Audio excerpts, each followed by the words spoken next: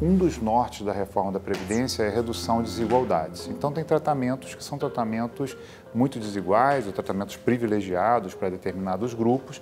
Então, tem que ter na reforma da Previdência um grande norte, um grande objetivo, que é dar um tratamento mais uniformizado entre as diferentes categorias. Então, após uma reforma, não fazer mais diferença entre uma pessoa ser juiz, desembargador.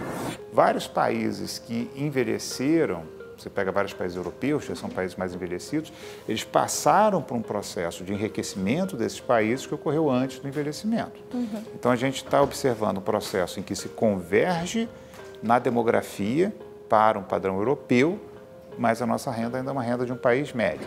O grande intuito de uma reforma da Previdência é justamente manter a Previdência. Uhum. Então, se necessita fazer alterações nas regras previdenciárias para que as pessoas no futuro consigam garantir o pagamento, o recebimento das suas aposentadorias e pensões.